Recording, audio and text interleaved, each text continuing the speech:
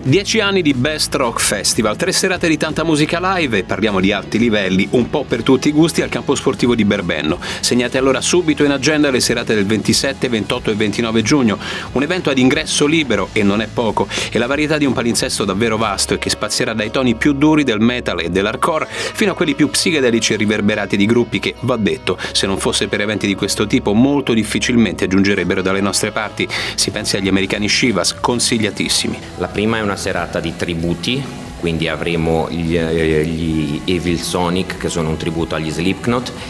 quindi molto metal, e un gruppo che si chiama Reinimos eh, che scoprirete, non posso dirvi niente in anticipo. Eh, il venerdì anche lì rimaniamo su sonorità abbastanza pesanti, quindi sempre sul filone metal hard rock con Hopes Die Last che sono uno dei gruppi più storici nel panorama hardcore italiano. Per quanto riguarda il sabato invece si dirotta completamente su sonorità totalmente diverse, eh, un po' più sul pop, sull'indie, sull'elettronica, ci sono i Queen of Saba che sono un duo elettronico fortissimo che vi consiglio di venire a vedere.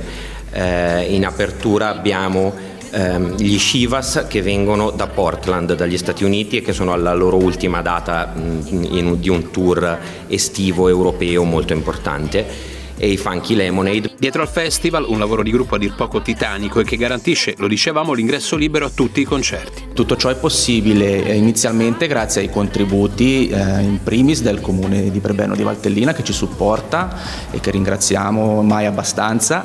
e poi anno per anno si va a cercare la possibilità di accedere a contributi tramite bandi come ad esempio quest'anno con la comunità montana e eh, con Provaltellina, Fondazione Provaltellina. Oltre a questo ovviamente poi al nostro festival potete venire, prendere da mangiare, prendere da bere e questo è ovviamente il modo migliore per supportarci. L'amministrazione comunale è sempre molto vicina a questo tipo di manifestazioni che riguardano soprattutto i giovani eh, del comune che sono sempre molto appassionati e si dedicano a queste iniziative. Insomma, è l'edizione dei dieci anni, non resta che immergersi in tre giorni di musica live, tutti a Berbenno il 27, il 28 e il 29 giugno. In questi dieci anni eh, abbiamo, ne abbiamo fatta di strada, nel senso che siamo partiti con un evento comunque piccolino, una cosa più diciamo tra amici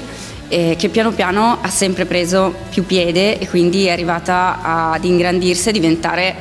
un festival proprio vero e proprio, nel senso che eh, io stessa eh, l'anno scorso, già da quando ci siamo trasferiti al campo sportivo di San Pietro, l'ho visto sotto una luce diversa, nel senso che eh, siamo diventati grandi.